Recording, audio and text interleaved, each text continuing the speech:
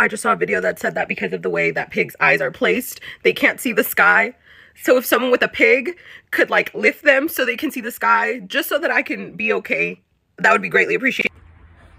Hey guys, me and my wife saw this girl on TikTok. It was really, really sad because she said that pigs can't see the guy, see the sky. So we're gonna help her out. We're gonna show this pig the sky.